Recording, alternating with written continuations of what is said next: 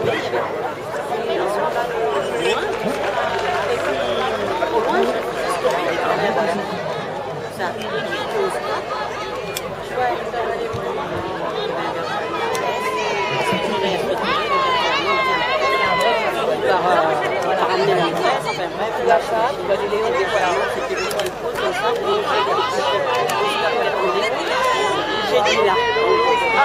là, ça va faire mal.